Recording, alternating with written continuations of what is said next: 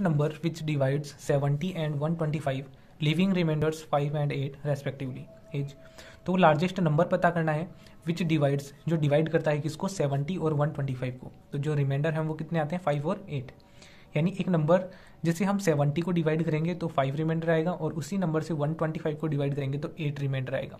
तो वो number largest number कौन सा होगा? वो हमें बताना है। तो यहाँ पर हम लोग देख सकते हैं कि नंबर है वो डिवाइड कर रहा है किसको? सेवेंटी को और वन ट्वेंटी फाइव को। तो इनसे दोनों से बड़ा वो नंबर नहीं होगा।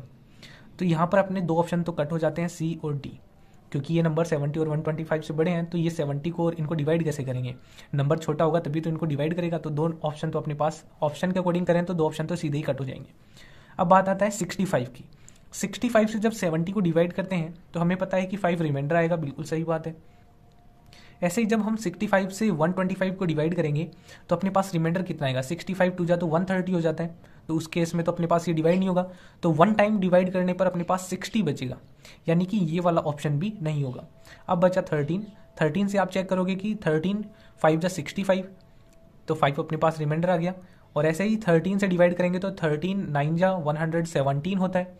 और 117 यानी कि 8 अपने पास रिमाइंडर आ जाएगा। तो ऑप्शन ए अपना थर्टीन बिल्कुल सही हो जाएगा। यदि ऑप्शन से करते तो इस तरीके से हम डायरेक्ट ही इसको सॉल्व कर सकते थे। थोड़ा सा बस कॉमन सेंस लगाना था। दूसरा तरीका क्या है कि जैसे कि मैं कहूँ कि थर्टीन है।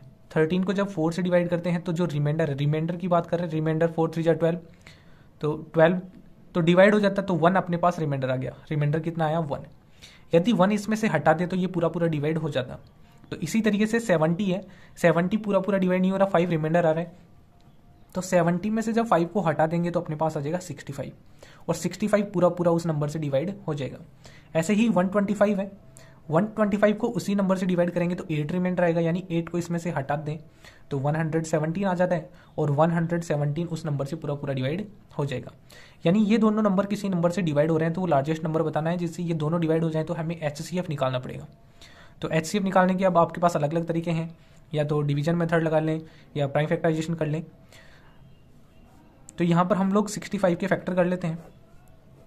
तो ये अपने पास डिवाइड हो जाएगा फाइव से। टू से तो होगा नहीं वन प्लेस पे फाइव है। और सिक्स और फाइव कितने होते हैं? इलेवन तो थ्री से भी डिवाइड नहीं होगा क्योंकि सम डिवाइड ही नहीं होता। फिर आती है बात फाइव की तो फाइव से डिवाइड हो जाएगा। वन प्लेस पे ज़ीरो या फाइव होने पर फाइव से डिवाइड होता है। फाइव वन जा फाइव फाइव थ्री जा फिफ्टीन और थर्टीन प्राइम नंबर है तो थर्टीन थर्टीन से डिवाइड हो जाएगा। इसी तरीके से वन वन सेवन ये टू से डिवाइड नहीं होगा। फिर बात आता है ये थ्री की तो यहाँ पे सेवन और टू नाइन होते हैं तो थ्री से ये डिवाइड हो जाएगा। थ्री थ्री जा नाइन आ गया और ये टू थ्री नाइन जा ट्वेंटी सेवन ये वापस थ्री से डिवाइड हो जाएगा। थ्री वन जा थ्री और थ्री थ्री जा नाइन थर्टीन प्राइम नंबर है तो ये थर्टीन से डिवाइड होगा। अब एच सी एफ़ जो है, किसका? सिक्सटी फाइव और वन वन सेवन का। हाईएस्ट कॉमन फैक्टर दोनों के अंदर जो कॉमन आ रहा है, वो थर्टीन के अलावा कुछ भी नहीं है। थर्टीन के अलावा और कुछ होता तो उसको ले लेते, दोनों को मल्टीप्लाई कर लेते तो थर्टीन है।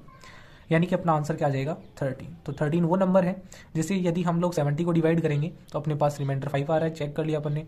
ऐसा ही थर्टीन से जब डिवाइड करेंगे वन ट्वेंटी फाइव को तो अपने पास रिमाइंडर कितना आ जाएगा? एट तो ये था इसका करेक्ट आंसर तो ऑप्शन से ज़्यादा बढ़िया इसको आसानी से हम लोग सीधे ही सॉल्व कर सकते हैं। तो उम्मीद आप लोगों को समझ में आ गया होगा। तो मिलेंगे नेक्स्ट वीडियो में। Thank you